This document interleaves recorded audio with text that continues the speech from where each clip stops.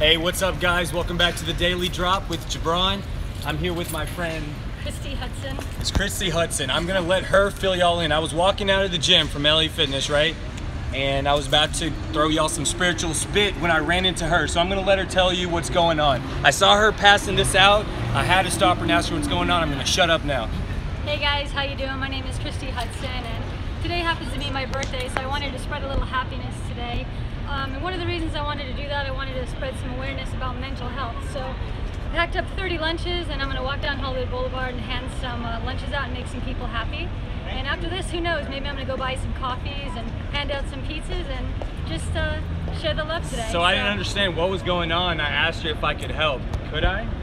Yeah, absolutely. All right. Let's go hand out some lunches. Let's do it. Heck yeah. Awesome. All right, guys. Spread that mental awareness, mental health.